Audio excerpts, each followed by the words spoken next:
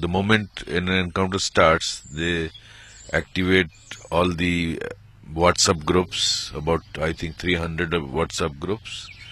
Uh, each has a number of 250 plus.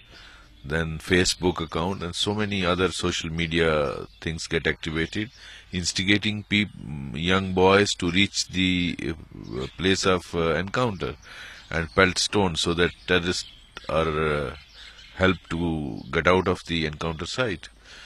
So this is uh, being done uh, by people who are, I think, uh, some of these accounts have been traced across. So it's uh, um is an attempt by enemies of India to create problems. In the encounter, even security forces take cover.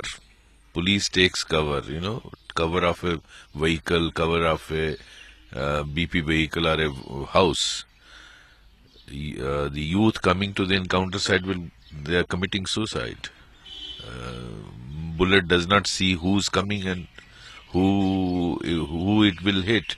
So my appeal to all the young boys is, as in the past, they should remain in their homes and not uh, come to the site of uh, encounters. And and uh, of course, pelting is, uh, is is not desirable at all.